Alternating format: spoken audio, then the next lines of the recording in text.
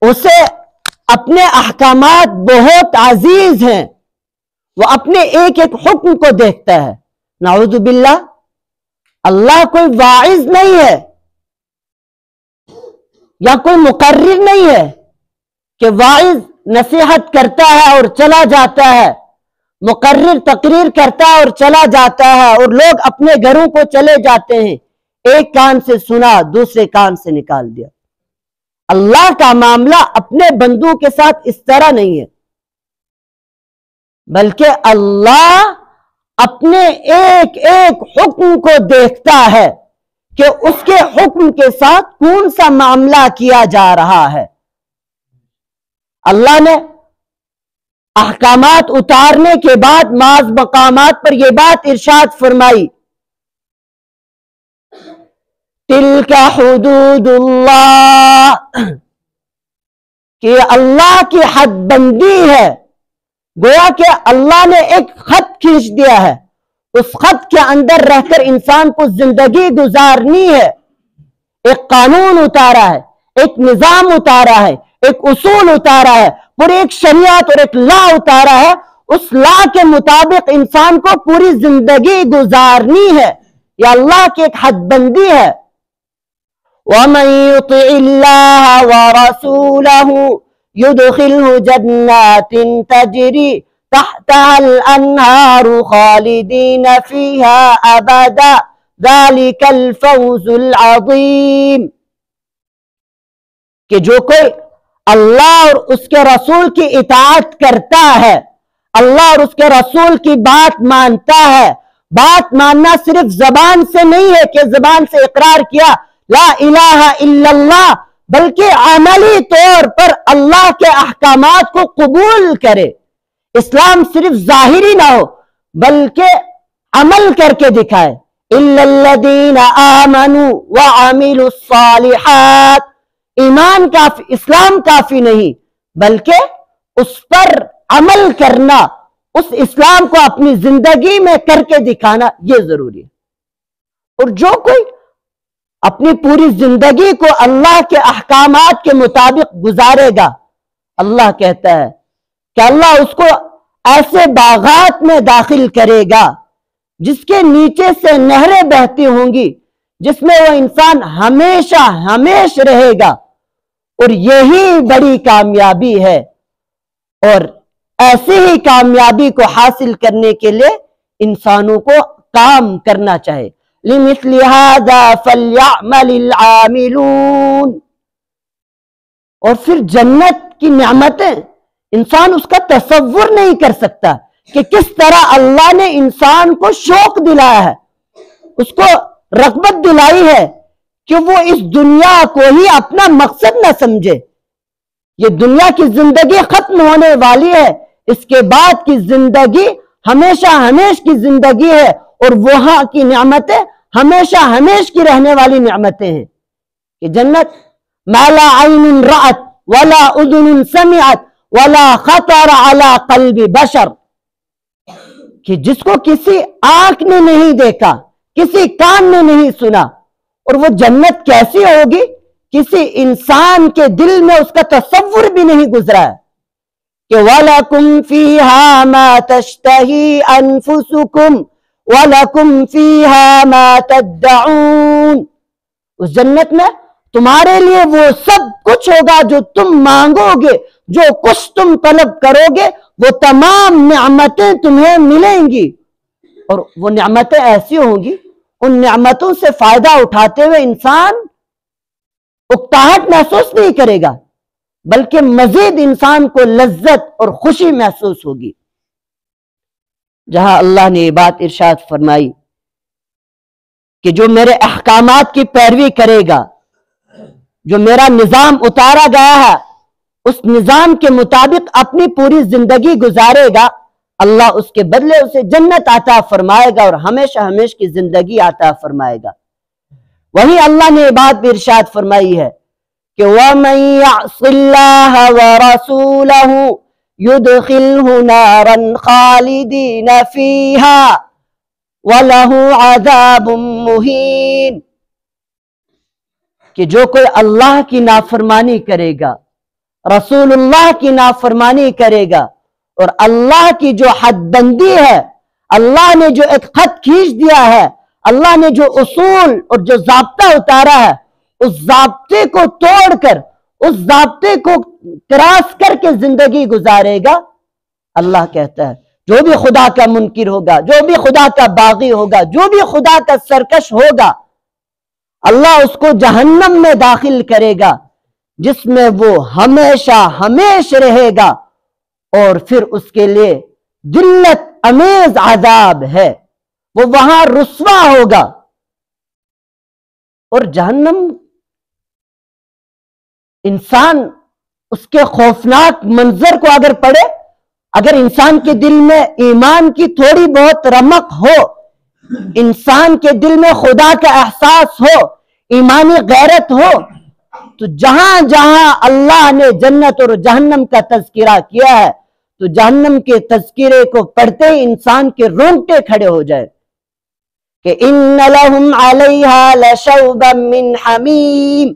کہ انسان کو کھولتا ہوا پانی پلا دیا جائے گا۔ انسان تمنا کرے گا کہ ایک مرتبہ اس دنیا سے نکل جاؤں گا۔ ربنا اخرجنا نعمل صالحا غیر الذي كنا نعمل۔ اے ہمارے رب، ہمیں نکال دیجیے اس سے۔ ہم پھر سے دنیا میں جانا چاہتے ہیں۔ ہم وہ عمل کر کے آئیں گے جو تیری مرضی کے مطابق ہوں گے۔ جو تیری منشا کے مطابق ہوں گے، ایک مرتبہ ہمیں نکال دیجیے۔ اب ہمیں سمجھ میں آ گیا ہے۔ جواب ملے گا؟ اولم نعمرکم ما يتذكر فيه من تذكر وجاءكم النذير کیا تمہیں اتنی عمر نہیں ملی کہ جس میں تم نصیحت حاصل کرتے؟ کیا تمہارے پاس انبیاء نہیں آئے؟ کیا تمہارے پاس خدا کی کتاب نہیں آئی؟ کیا تمہیں اللہ نے عقل نہیں دی تھی؟ تم دنیا کے معاملات میں تو بڑے ہوشیار تھے، بڑے چالاک تھے، تم نے دین کے بارے میں سوچا کیوں نہیں؟ تم نے اس کے بارے میں کیوں نہیں سوچا کہ اللہ نے اتنی بڑی کائنات بنائی ہے؟ اللہ نے مجھے پیدا کیا ہے ایک پانی کے نطفے سے، بے جان سے مجھے پیدا کیا ہے اور چلتا پھرتا انسان بنایا ہے۔ تو اس اللہ کے سامنے مجھے ایسے ہی جانا ہے۔ کیا تو نے یہ سمجھا کہ مجھے بغیر مقصد کے پیدا کیا؟ تو تو نے نصیحت حاصل کیوں نہیں کی؟ وہ کہتا رہے گا بِذُنُوبِنَا۔ اے اللہ، ہم اپنے گناہوں کا اقرار کرتے ہیں۔ فَهَلْ إِلَىٰ خُرُوجٍ مِّن سَبِيلٍ۔ کیا اب کوئی نکلنے کی کوئی صورت ہے؟ کہ ہم یہاں سے نکل پائے؟ ہم اس عذاب سے بچ پائے؟ فوراً کہا جائے گا، فَذُوقُوا فَمَا لِلظَّالِمِينَ مِن نَصِيرٍ۔ چکو اس عذاب کا مزہ، اب ظالموں کا کوئی مددگار نہیں ہوگا۔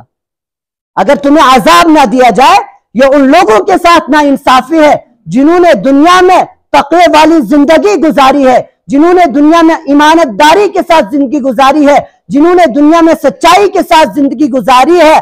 اگر تمہیں بھی وہی بدلہ دیا جائے جو ان کو دیا جائے گا، تو یہ تو نا انصافی ہے۔ اس لیے فَذُوقُوا فَمَا لِلظَّالِمِينَ مِن نَصِيرٍ اللہ بڑا ہی غیرت مند ہے، وہ اپنے ایک ایک حکم کو دیکھتا ہے۔ وہ یہ نہیں کہ احکامات نازل کر دیے ہیں، اب انسان جو چاہے اس کے ساتھ کرے۔ بس پڑھ لیا، اس کے بعد عملی زندگی میں اس کی کوئی جھلکی نظر نہ آئے۔ اللہ نے یہ بات فرمائی ہے کہ ان اللہ کان علیکم رقیبا اللہ تعالی انسانوں کی پوری نگرانی کرتا، اس کے ایک ایک عمل کو دیکھتا ہے۔ وَلَقَدْ خَلَقْنَا الْإِنسَانِ وَنَعْلَمُ مَا تُوَسْبِسُ بِهِ نَفْسُهُ وَنَحْنُ أَقْرَبُ إِلَيْهِ مِنْ حَبْلِ الْوَرِيدِ۔ کہ ہم نے انسان کو پیدا کیا ہے۔ اور ہم جانتے ہیں اس کے دل میں کیا وسوسے آتے ہیں۔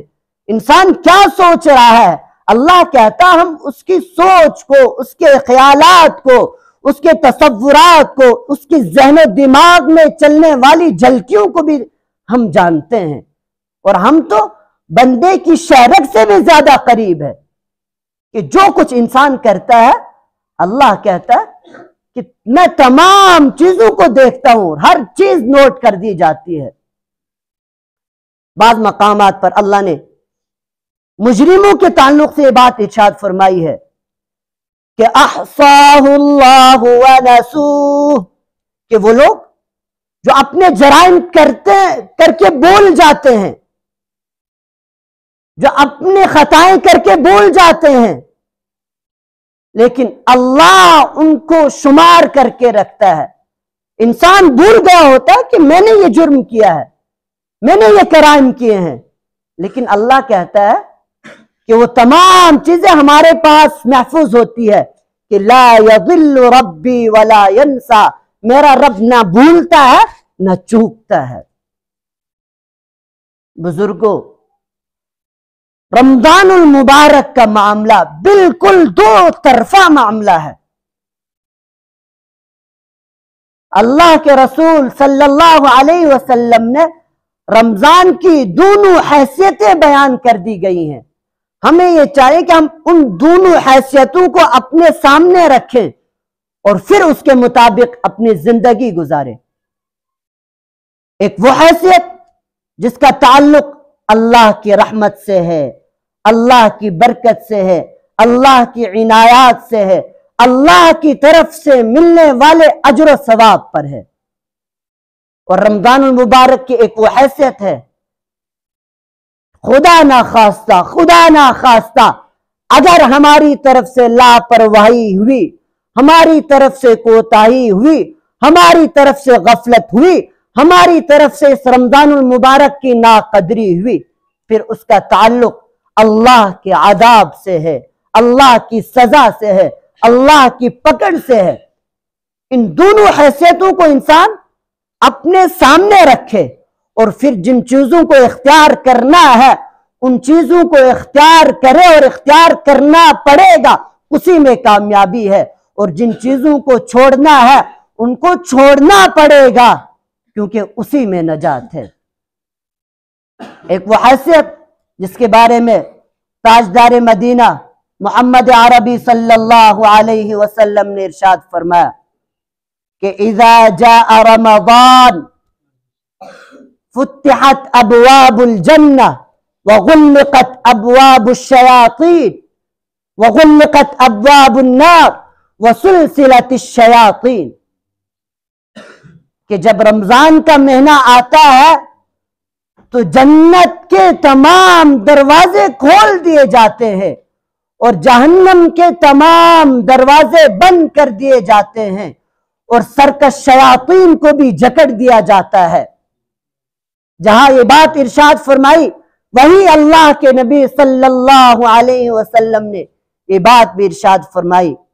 کہ من صام رمضانا ایمانا واحتسابا کہ جس نے رمضان کے روزے رکھے، پوری دیانت داری کے ساتھ، سچائی کے ساتھ واحتسابا اور اپنی عبادتوں کا جائزہ بھی لیتا رہا، اپنے روزوں کا جائزہ بھی لیتا رہا، اپنی پوری زندگی کا جائزہ بھی لیتا رہا، غفر له ما تقدم من ذنبه اس کے سابقہ تمام صغیرہ گناہ معاف کر دیں گے۔ تمام صغیرہ گناہ معاف کر دیے جائیں گے۔ جہاں تک کبیرہ گناہ کا تعلق ہے، تو یقیناً جو رمضان کے روزے پوری سچائی کے ساتھ، امانت داری امانت داری کے ساتھ رکھے گا۔ تو اللہ کی ذات سے امید ہے کہ اللہ اسے توبہ کی توفیق عطا فرمائے گا اور اس کے کبیرہ گناہ بھی معاف ہوں گے۔ جہاں اللہ کے نبی صلی اللہ علیہ وسلم نے بات ارشاد فرمائی، وہی اللہ کے حوالے سے حضور اکرم صلی اللہ علیہ وسلم نے حدیث قدسی میں بات ارشاد فرمائی ہے کہ اللہ تعالی فرماتا ہے، کل عمل ابن آدم لہو الا الصوم، کہ ابن آدم کا ہر عمل اس کا ہے، سوائے روزے کے، فَإِنَّهُ لِي کہ روزہ صرف میرے لیے ہے، وَأَنَا أَجْزِي بِهِ، میں ہی اس کا بدلہ دوں گا۔ ہم سب جانتے ہیں کہ ہر عمل اللہ کے لیے ہی ہوتا ہے، اللہ ہی اس کا بدلہ دیتا ہے۔ لیکن جب کسی چیز کی نسبت اللہ اپنی طرف کر دے، تو اس کی شان ہی کچھ اور ہو جاتی ہے۔ جتنی عبادتیں کی جاتی ہے تمام عبادتوں میں انسان ظاہری طور پر کچھ نہ کچھ کرتا ہوا دکھائی دیتا ہے۔ انسان نماز پڑھتا ہے تو ظاہری طور پر نماز پڑھتا ہوا دکھائی دیتا ہے، حج کرتا ہوا، سفر کرتا ہوا، طواف کرتا ہوا، تمام چیزیں باقی عبادتوں میں انسان کو دکھائی دیتی لیکن روزہ ایک ایسی عبادت ہے کہ ظاہری طور پر انسان عبادت کرتا ہوا نہیں دکھائی دیتا۔ لوگوں کے ساتھ اٹھ رہا ہے، بیٹھ رہا ہے، اپنے کام میں مشغول ہے۔ لیکن وہ ایک عظیم عبادت میں مشغول ہوتا ہے۔ اس لیے اللہ نے فرمایا کہ اس کا میں خود بدلہ دوں گا۔ اگر کوئی انسان رمضان کے روزے پوری دیانتداری کے ساتھ اور سچائی کے ساتھ اور اخلاص کے ساتھ رکھے گا، اللہ کہتا ہے کہ میں اسے قبول کروں گا اور میں خود اس کا بدلہ دوں گا۔ ایک طرف تو رمضان المبارک کی یہ حیثیت ہے کہ یہ اللہ کے نبی صلی اللہ علیہ وسلم نے ارشاد فرمایا۔ اور دوسری وہ حیثیت جو اللہ کے نبی صلی اللہ علیہ وسلم نے ارشاد فرمائی، جس میں اللہ کے نبی صلی اللہ علیہ وسلم نے آگاہ کیا، متنبع کیا اور ڈرایا ہے۔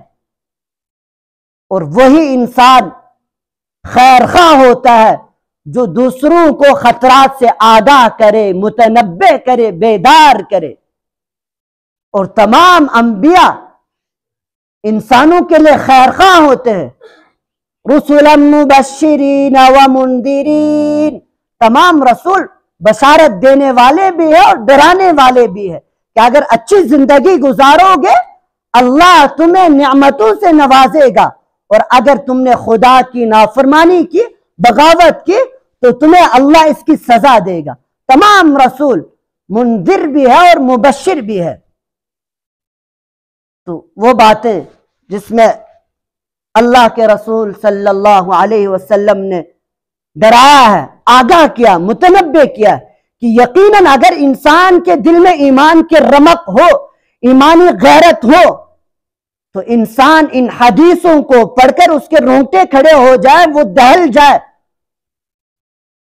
کہ اللہ کے نبی صلی اللہ علیہ وسلم نے ارشاد فرمایا، رب صائم ليس له من صيامه الا العطش ورب قائم ليس له من قيامه الا السحر کتنے ایسے روزے دار ہے جن کو سوائے بھوک اور پیاس کے کچھ نہیں ملتا۔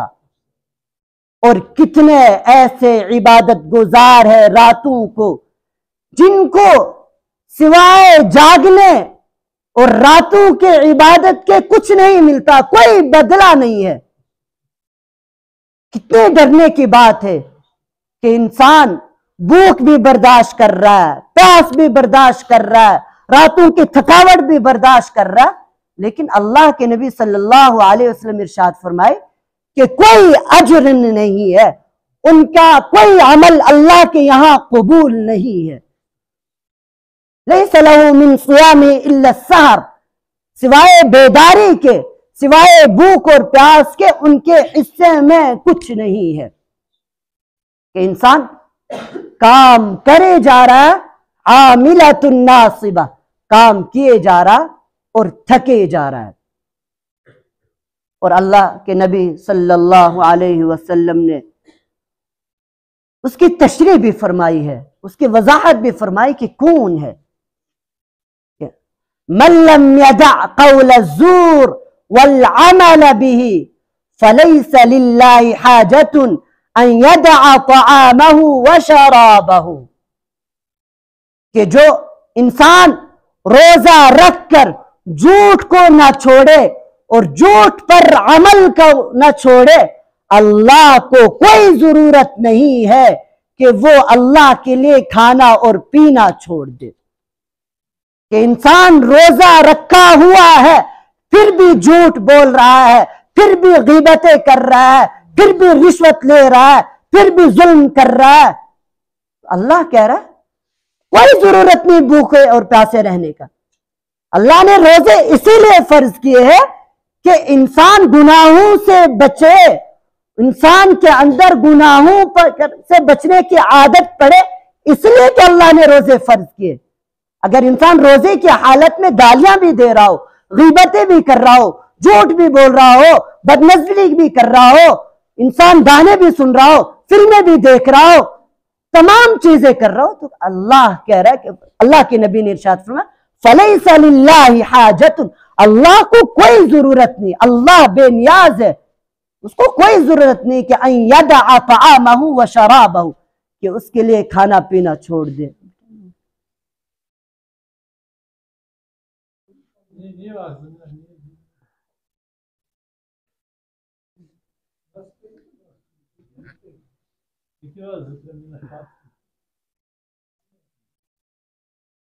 اللہ کے نبی صلی اللہ علیہ وسلم نے یہ بات ارشاد فرمائی اور ان باتوں سے ہمیں بچنا ہے۔ ایک تو وہ حیثیت کے رمضان کی اتنی برکتیں جو پہلے ایک حیثیت بیان کی، دونوں حیثیتیں۔ اللہ کے نبی صلی اللہ علیہ وسلم نے رمضان المبارک کے مثبت پہلو کو بھی سامنے رکھا اور منفی پہلو کو بھی سامنے رکھا۔ اور آگاہ کیا، متنبع کیا۔ کوئی انسان سوچے کہ چلو ہم غفلت کر لیں، ہم رمضان المبارک کی ناقدری کر دیں۔ تو اللہ کے نبی صلی اللہ علیہ وسلم نے ارشاد فرما دیا کہ اس انسان کے لیے لعنت ہے کہ جس نے رمضان المبارک کا مہینہ پایا اور اس نے اپنی مغفرت نہیں فرمائی۔ اپنی معافی نہیں کروا سکا، اپنے آپ کو اللہ سے جوڑ نہیں سکا، اپنے آپ کو اللہ کے رسول کی زندگی سے جوڑ نہیں سکا۔ اپنے دل میں ایمانی غیرت، ایمانی حمیت، ایمانی جوش و ولولہ ایمانی شوق و جذبہ ایمانی جنون پیدا نہیں کر سکا، اس انسان کے لیے تباہی و بربادی۔ کہ یہ رحمتوں کا مہینہ ہے، کہ انسان کے دل میں اس مہینے میں عبادتوں کا شوق پیدا ہوتا ہے دوسرے مہینوں کے مقابلے میں۔ پھر بھی انسان اللہ کی طرف، اس کے دین کی طرف، اس کے آخری پیغمبر محمد عربی صلی اللہ علیہ وسلم کی طرف نہیں آئے۔ تو اللہ کے نبی صلی اللہ علیہ وسلم نے فرمایا، اس کے لیے تباہی و بربادی ہے۔ کون ہے وہ لوگ کہ جو روزہ رکھتے ہیں، اسی طرح روزہ رکھتے ہیں، جس طرح ایک اللہ کا بندہ روزہ رکھتا ہے۔ ایک اللہ کا مقبول بندہ بھی صبح سے شام تک بھوکا پیاسا رہتا ہے اور یہ بھی بھوکا پیاسا رہتا ہے۔ لیکن اس کے، اس کو بھوک، اس کو بھوک اور پیاس پر کچھ اجر نہیں ملتا۔ تو فرمایا کہ وہ لوگ جو جھوٹ بات کہتے ہیں اور جھوٹ پر عمل کرتے ہیں۔ یعنی خیانت کرنا، غیبتیں کرنا۔ کسی طرح کا بھی جھوٹ بولنا، گویا کہ یہ جھوٹ پر عمل کرنا ہے۔ پھر وہ انسان چاہے روزہ دار ہو، لیکن زبان سے اس نے کبھی جھوٹ نہ بولا ہو۔ لیکن اس کی پوری زندگی جھوٹا ہے، وہ انسان جھوٹا ہے۔ اللہ کو کوئی ضرورت نہیں ہے۔ تو ہمیں اس رمضان المبارک کے مہینے کی قدر کرنی چاہے اس کے روزوں کو پوری ایمانت داری کے ساتھ اور دیانت داری کے ساتھ ادا کرنا چاہے اگر ہم اللہ کے دین کے ساتھ جڑیں گے، اللہ ہمیں عزت دے گا۔ جو اللہ ہم سے کہتا ہے کہ تم دین کو قائم کرو گے۔ حقیقی معنوں میں ہم دین کو قائم کرتے ہیں، لیکن حقیقت یہ ہے کہ ہم قائم ہوتے ہیں۔ کہ ان تنصر اللہ ینصرکم، کہ اگر تم اللہ کی مدد کرو گے، اللہ تمہاری مدد کرے گا۔ وَأَنْتُمُ الْأَعْلَوْنَ إِن كُنْتُم مُؤْمِنِينَ۔ اگر تم مومن رہو گے، تو تم ہی سربلند رہو گے۔ تمہارے ہاتھوں میں حکومت ہوگی، تمہارے ہاتھوں میں قیادت ہوگی، تمہارے ہاتھوں میں سیادت ہوگی۔ شرط یہ ہے کہ تم اللہ کے نظام کو تو قبول کرو۔ ان الذين قالوا ربنا الله ثم استقاموا. تتنزل عليهم الملائكة ألا تخافوا ولا تحزنوا وأبشروا بالجنة التي كنتم توعدون. جن لوگوں نے کہا کہ میرا رب اللہ ہے اور پھر اس پر ثابت قدم رہے، اس پر فرشتے رحمتیں بیچتے ہیں اور پھر اس کو اللہ تعالیٰ ایسی نعمتیں عطا فرمائے گا جس کا وہم و گمان بھی نہیں ہے۔ وہ سب کچھ اس کو جنت ملے گا جو وہ طلب، جنت میں ملے گا جو وہ طلب کرنا چاہے گا۔ تو اللہ کے دین میں انسان کی عزت ہے کہ وَلِلَّهِ الْعِزَّةُ وَلِرَسُولِهِ وَلِلْمُؤْمِنِينَ۔ کہ عزت اللہ کے لیے ہے، اہل ایمان کے لیے ہے۔ وَلَكِنَّ الْمُنَافِقِينَ لَا يَعْلَمُونَ۔ لیکن منافق نہیں جانتے۔ کہ آپ دین کو قائم کریں گے، دین آپ کو قائم کرے گا۔ اللہ نے یہ بات ارشاد فرمائی کہ عزت اللہ کے لیے، اللہ کے رسول کے لیے اور اہل ایمان کے لیے ہے۔ تو ہم اس دین کو قائم کریں۔ اور رمضان المبارک کے اس مقدس مہینے میں اگر ہم نے کسی پر ظلم کیا ہو، کسی پر زیادتی کی ہو، کسی کا حق ہم نے مارا ہو، تو ہم معافی کروا لیں۔ اگر کسی کا حق مارا ہے تو وہ حق کبھی نہیں مرتا، انسان مر جاتا ہے لیکن حق کبھی نہیں مرتا ہے۔ میں ایک حدیث بیان کرتا ہوں اور اپنی بات ختم کروں گا۔ ایک جنگ میں ایک صحابی شہید ہوئے۔ صحابہ نے عرض کیا کہ فلان شہید۔ اللہ کے نبی صلی اللہ علیہ وسلم نے شاید کلا واللہ، انی رأیتہو فی النار۔ ہرگز نہیں، میں نے اس کو جہنم میں دیکھا۔ کیوں جہنم میں دیکھا؟ چادر چھپانے کی وجہ سے صحابی ہے شہید ہوئے اور اللہ کے نبی نے ارشاد فرمایا کہ جہنم میں ہے، کہ مال غنیمت کی ایک چادر چھپانے کی وجہ یعنی خیانت دیانت داری نہیں رہی۔ ممکن ہے کہ اللہ کے نبی صلی اللہ علیہ وسلم نے ان کے لیے دعا کی ہو، ان کی مغفرت ہو گئی ہو۔ کیونکہ اللہ نے آپ صلی اللہ علیہ وسلم کو اس کا حکم دیا تھا کہ فَعْلَمْ أَنَّهُ لَا إِلَهَ إِلَّا اللَّهِ وَاسْتَغْفِرْ لِذَنْبِكَ وَلِلْمُؤْمِنِينَ وَالْمُؤْمِنَاتِ کہ جان لیجیے، اللہ کے سوا کوئی معبود نہیں ہے۔ اپنے قصور کی معافی مانگے، اہل ایمان کی معافی مانگے۔